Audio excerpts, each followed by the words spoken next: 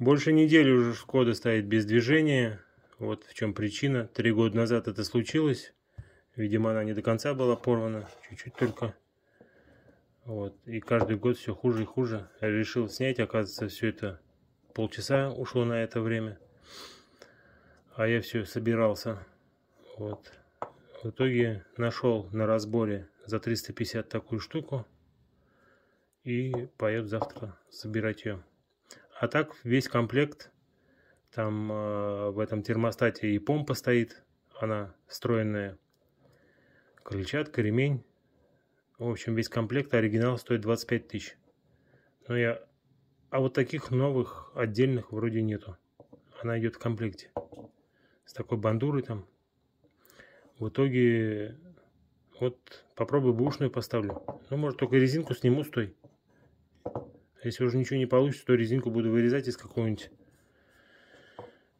из какой-нибудь резины. Но за 25 тысяч я не готов покупать этот весь комплект. Зачем? Пока ездил на своем мозике все это время, знал бы, что там все так просто, в тот же день бы разобрал. В общем, я снял э, помпу, она же и термостат встроенный в одном. То есть я вчера его снял, оказывается, все быстро снимается. Вот раз, два, три, четыре, пять. Вот такой штукой вот. Вот звездочкой. То есть снимается быстро, шланги отстегиваются, все нормально. Видимо, э, кто-то до меня ковырялся здесь, потому что я тут заметил герметик, вот он, красный. Герметик есть. Может быть, может быть завода это. Вот эта штука на герметик сажалась. Так вот, что у меня тут? У меня, в общем, три года назад начал мудить этот э, отопление. По большому кругу ходить начало. Плохо подниматься температура начала. Ну, в зависимости от температуры снаружи. И э, я так думаю, что у меня, то есть она была порвана чуть-чуть. То есть потом второй год уже так вот. Все больше пропускаемость, больше. И в итоге она э, вот в конец вообще уже не грела, а без э, картонки. То есть приходилось на решетку сверху картоночку ставить. Вот. И еще меня смутила вот эта штука. Я сегодня ездила, бушку такую продавали за 2000, в общем. Вот эту пружиночку. Есть целиковая полностью за 2500. Вот сейчас думаю, нужно ли мне это все. И, в общем, у этой штуки, что меня смутило, у него шток э, втоплен туда был, то есть посажен глубже. То есть торчал он где-то вот ну, миллиметр 4, совсем вот 3, 4, 5, ну не 5, 4 где-то, да. И меня вот это смутило.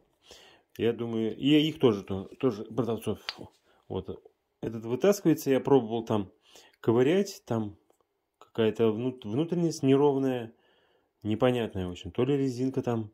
Мне самому интересно, она завальцована вот так вот, латуневая. А, я вот думаю, может быть там что-то тоже такое, и просто она уже в негодность пришла. То есть, может, вода попадала туда, антифриз попадал, и внутри что-то разрушилось. А, потому что вот эта пружинка, она от температуры высокой, там 90 градусов, она сужаться начинает. Она, то, есть, то есть она нажимается вот так вот, вот так вот она делается. Вот, в таком положении. И открывается, соответственно. И идет по большому кругу через радиатор. А вот эта штука мне непонятна. То есть она завальцована. Вот, еще раз говорю, да. И вот эта штука до конца не заходит. Вот. Почему я обратил на это внимание? Почему она не, не хочет? Почему мне это нужно, чтобы она заходила чуть глубже? Так же, как у других. Но мы с другими сравнивали цифры, и они не, не совпадают. В общем, загадка. Я, в общем, столько проехал. 30 километров туда мне пришлось ехать через весь город. Они в конце там промзоне разбором занимаются в итоге. В Черняковке там в жопе, короче. И что-то я засомневался. Я приш, приехал сейчас и отмыл их тут в раковине у себя на даче. И опять ставлю. А меня еще вчера это смутило. То есть резиночка встает, например, да, и мы вот так вот. Он же должен плотно закрывать или нет. Я не знаю, конечно, как устроено. Может, он не до конца должен закрывать, как клапан, то есть он еще широкий стал, огромный, болтается. То есть вот, вот, вот у него посадочное место, вот ямочка, мы туда его ставим вот так. Вот. Вот. Все. Видите? И он не закрыл. То есть ему надо... Вот, вот он не закрывает. Вот ему надо вот этому штоку еще зайти внутрь. То есть зажать, зажать. То есть он должен углубиться и упереться вот в, это, в этот бортик. Вот эта резинка должна быть. Но так как она широкая, она широкая. И еще, то есть этот был заклиненный, видимо, а, вот три года назад раз мудить начал, видимо, резиночка не давала. Она как бы вот так закусила ее и не давала клапану закрываться. И он в таком режиме полуоткрытом, видимо, прикипел там внутри. Он уже привык как бы в этом состоянии. И вот он не работает. Вот я его хотел разработать. Пробовал, стучал, то есть вот эту штуку я выдергивал. Вот. Вот так вот ставил, обметал и бил. То есть она все равно не заходит. Но иголка, что-то тоньше этой штуки, она заходит глубже прям до конца. Мне очень интересно, конечно, как она устроена внутри. Что там вообще внутри есть. Вот. Мы уже делали на эту Шкоду запчасти сами. И тоже из латуни. Эти были там под клапаны эти были, втулки были, потому что там клапаны у, у 1.4 турбовой Шкоды, клапаны самые тонкие и от других машин не подобрать. То есть там 4 миллиметра клапан или 3,9. Вот. Но мы сами вытачивали тул, эти, как его, втулочки. Латунь я купил тут э, на металлобазе то, что было. Тут два. Ну, по, я этому посмотрел по температуре. Выбора-то особо не было. На свой страх и риск, в общем, вытащили, отдали на завод на шлифовку. Они там вывели все хорошо, мотористу отдал, он их посадил. Одна у меня клапанная втулка осталась. Вот. А так, э, я ухожу от тем просто. А так у меня до этого, когда я хотел купить этот э, клапанные втулки, их, в общем, не было и не будет, типа, и они продаются с блоком. То есть с клапанами, там э, и сухарики, и что там еще там. Ну вот блок, в общем, клапанный этот, с пружинками. 120 тысяч стоило на тот момент, это было где-то 4 года назад. Вот. И решили сами изготовить. Ну, ничего получилось. Масло не жрет теперь. А почему я менял? Потому что ну, на говне, на, на плохом масле ездил предыдущий хозяин на кастроле по гарантии. И клапаны, эти как его, клапана подтерлись. То есть у них они еще тоньше стали и пропускали через этот, как его. Ну и люфт был, клапан вот так болтался. И потом э, вот этот, как его там, клапанную э, втулку эту латунную тоже раздолбал этот. И там тоже стерлось. Ну, видимо, э, вся эта гарь слетала сверху. Тем более тут э, впрыск другой, сажа накапливается наверху. И кастрол вообще категорически нельзя. Только ликвимоль или матюль, что-нибудь такое, которое не горит. Ну ладно. Вот. Э, в итоге, вот я сейчас ищу. Тут есть одна за два с половиной тысячи. Такая. Либо вот такая одна штука только за две тысячи. Тоже БУ. И все это БУ. Сейчас поеду вот сравню. Ну, в общем, он не хочет закрывать. Но тут еще один есть клапан. Вот сейчас я его буду разбирать, смотреть, как он вообще там, как у него состояние. Вот меня смутило, в общем. Ну, вот так он встает сюда вот. Вот здесь встает, а эта часть сюда. То есть, и... Ну, не закрывает, что вот. Видно? Зазорчик. Должен туда прям внутрь заходить, я думаю. Плотненько прям зажимать, пружинка толкать должна. Значит, я куда ездил за 2000, значит, это он и есть. Вот. Ну, можно попробовать что-то, рискнуть, э, как это все будет работать. Резинки я поснимал. Кто-то тоже лазил здесь уже, потому что герметик какой-то красный тут и, не только красный. Вот, э, в общем, герметик присутствует левый. Чуть-чуть так намазали. Ладно, сейчас буду это разбирать. Ну, тоже вот снял. Вот он сидит, клапан. И тоже вот приоткрытый. Сейчас.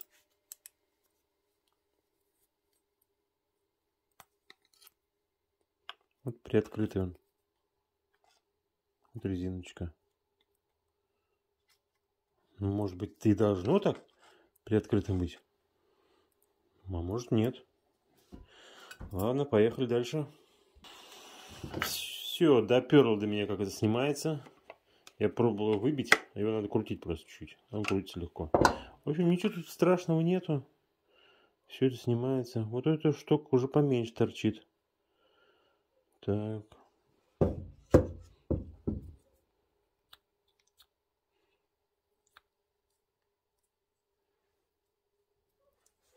То же самое. Да, вот поменьше он торчит, видите? Вот разница. Сейчас я вот эту снимаю вот так. Он должен выйти. Вот, он тоже в один в один. Я его сейчас поменяю с этим. По-любому меняется. Вот. И теперь я эту ставлю сюда. И она у нас как раз уже резинка будет зажимать. Вот, что и следовало ожидать. Вот сейчас я подсвечу еще фонаричком. Вот видите, вот здесь вот целая часть осталась. Вот смотрите. Вот она заходит.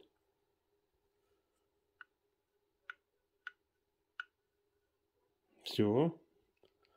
Уже зажимает, уже хорошо. Что-то вот с этим не то. Ну ладно, сейчас мы поедем, купим так, такую же. Так. Вот она так вот. А может они поменяли местами? Нет. Там еще тоже будет открыть тогда. Ну все. Тут уже дальше разбирайте что-то делать. А остальное видео, видео скину только тогда, когда уже соберу и расскажу, получилось ли у меня. Спасибо всем. Так, ни хрена подобного. Остальное видео я решил сейчас записать, еще продолжить. Сейчас я уже опять э, кое-что для себя понял. Ну, то есть э, поработал, в общем. И а, следующее видео будет уже, когда я уже поставлю, да. Это я добавлю сюда. А, в общем, что получилось? Вот эту штуку я вытащил а, отсюда. То есть она, она у нас стояла то есть я с нее снял резинку. Вот она. Вот эту резинку снял. Так. Так, с нее резинку снял. Потом снял вот эту штуку. А, вот она. И поставил на ту, которая не закрывалась, которая сломана была. И вот мы проверяем. То есть мы ставим сюда вот отверстие. Ловим. Оп. И смотрите. Как она плотно прям закрывает. Нет щелей.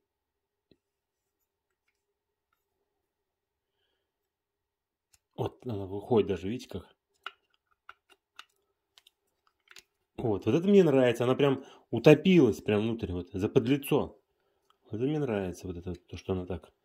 Вот так она должна быть. Эту резиночку я снял, а оказывается, она один в один. Просто у них разница, то есть э, есть чуть-чуть. Вот, вот, вот в этой штуке, тут э, вот конструкция другая, она покороче получается. Сам э, конструкция и пружинка, она отвечает для, для другой штуки. Я не знаю, обычно 21 термостат стоял там на Жигулях. То есть висел на шлангах там и все. А здесь встроенный. Я сперва думал, ну нахрена встроенный? А на самом деле так-то удобно. А, встроенный. Тут и помпа. То есть при желании можно и помпу выпрессовать. То есть, ну вот эти продаются отдельно, просто вот. вот а все остальное пластик потом можно насобирать сюда. То есть, ну я думаю, помпу можно выпрессовать при желании. А что сюда вот надавил, она и вышла, там же подшипник же. Сальник поменял и все. Вот, сейчас поеду, в общем, а, а потом видео запишу. То есть мне сейчас надо будет найти, либо всю комплект взять и посмотреть именно по штокам, как они вообще себя ведут. Эту я еще хочу прокипятить, вот эту вот, которую последнюю снял вот отсюда вот. Которая с ней, с ней все нормально было. Вот, ее хочу прокипятить, посмотреть, как она работает, на сжимание. Потом и эту прокипятить хочу уже с новой, со всей этой, как она работает. Просто я эту кипятил, вот эту штуку, когда... Ну, давайте вот так сделаем. Это же было здесь. Вот так вот. А это было здесь. Только с раздолбанной резинкой. Да. В общем, когда я кипятил ее, она сжалась. Прям видно было, как она вот так вот прям сжалась. А я ее достаю и под холодную воду. И она не разжимается. Понимаете? Она клинит. Вот. Это вот это как, как бы тоже плохо. То есть, и не дает вот это вот шток, вот он как-то вот связан. Надо, ну, потом я распилю, когда такую же приобрету, я ее аккуратно, у меня токарка есть, я ее Э, развальцую и посмотрю конструкцию внутри. Может, там тоже какие-нибудь пружиночки, не знаю, что там такое. Интересно, конечно. Потому что этот шток сам тоже как бы ходит еще. То есть вот пружинка сама ходит, разжимается, сжимается. И шток еще выходит. То есть, я думаю, что он так ходит, да. Так, что еще? Так, ну тут, э, в принципе, все понятно. Герметик надо будет сейчас спросить какой-нибудь для таких целей промазать. Вот что еще хочу. То есть, так как резинки уплотнились уже, то есть они выглядывают плохо изнутри. Я не знаю, как вы, конечно, на это что скажете. Я хочу внутрь проложить нитку такую толстую. Обувь подшивают. Вот, хочу нитку проложить 2-3 ряда. Вот, герметиком туда намазать полностью. Потом эту штуку засунуть, чтобы она выглядывала чуть больше, чем до этого. То есть, потому что она заподлицо. Я, ну, если будет больше выглядывать, это же хорошо. Она как бы прижиматься будет. Вот. Вот. И герметиком, я думаю, так сделаю. Может быть, и просто герметиком сделаю. Протекать будет, так я опять придется разбирать и все это смотреть. Именно ниточкой. И здесь то же самое. У нее тоже такая же резинка. Вот повсюду здесь. Вот. Точно такая же, только больше. Вот она. Вот она резинка эта. Но они же сухие стали, как бы уже поджались. А надо, чтобы они длиннее были. Вот. А, что еще? Ну, что, в принципе, тут э, ничего такого. Любой человек может это разобрать и поменять. Тут э, ломаться нечему. Вот эта штука. Либо резинка, либо клинит это, либо резинка дохнет, либо клинит. Вот тут, э, в принципе, вообще не страшно, ребята, делайте сами. Вот. Сейчас капец, конечно, цены вот на бушку 2000 просят за эту штуку. Но я нашел за 2,5 вот этот комплект. Там по-любому два таких должны быть. Но один я точно видел, потому что он, когда его разбираешь, он сразу выпадает. А второй-то он внутри встроен. Вот здесь вот его еще дальше разбирать надо. Вот, посмотрим, пусть будет. Тогда отдельно я продам эту. Вот здесь вот отверстие есть внутри вон. Видимо, туда попадает этот, как его, тосольчик, и он смазывает его. Так что ли? Для смазки? Или, или... Нет, в этом месте тосол-то не ходит. Нет, тут же ремень. Тогда туда надо будет мне масло накапать. Да. Таводницей, типа, шприцом туда что-нибудь накапаю на всякий случай. Я и печку разбирал сам. А, внутри салона тоже стукнешь по панели, она срабатывает. Ну, щетки, в общем, э, залипают, разлипаются. То есть. И тоже все просто. У нас магазин электроники есть в Уфе. Там все купил. Ну, что там все купил? Две щетки купил, пришел, паяльник надо, и все, они распаиваются. Ну, там все просто тоже. Ничего такого страшного. Все хорошо, там все на застежках отстегивается, снимается. Вот, и еще есть эти как вот. Так что Э, с вентиляторами я делал, понравилось, то есть там все можно исправить. Здесь я тоже посмотрел, тоже все очень просто. Все можно тоже исправить. Вот, единственные цены за это 2000, ну не знаю, я... Да, за это 2000 это дороговато. Я думаю, ну цены сейчас такие, что у нас, для, для нас тем более это вообще все сейчас дорого будет. И Шкода, не знаю, как дальше это все содержать. Раньше-то все проще было. Вот, и... И машину ты покупал вообще в два раза дешевле. В три раза даже, можно сказать. В два с половиной раза. Сейчас вот эта 2000, она в таком расстоянии, типа 50 тысяч пробежала машина. Ну, они говорят, вот. Ну, не знаю, это 225 пробежала.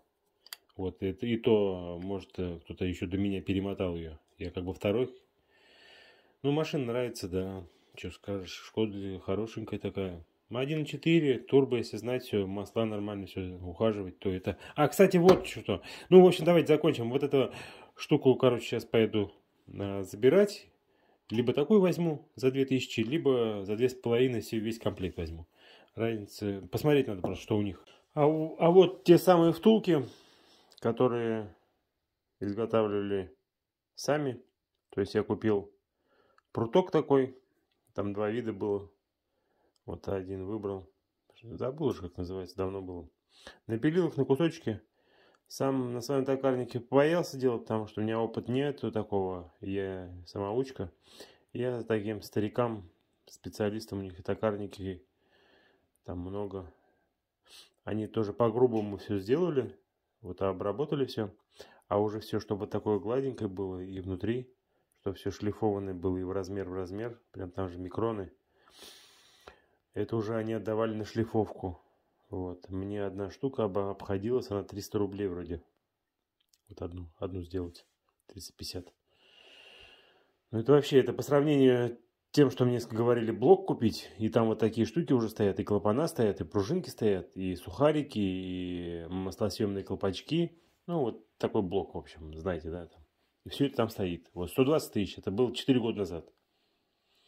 Вот, я думаю, ну, ну, там не то, что думать, просто я бы контрактный двигатель купил бы и все просто поставил тогда. Ну, вот так вот, в общем. Это сами делали. Я здесь купил, я отпилил, и все делается, в общем. Не все, но, в принципе, и все можно сделать.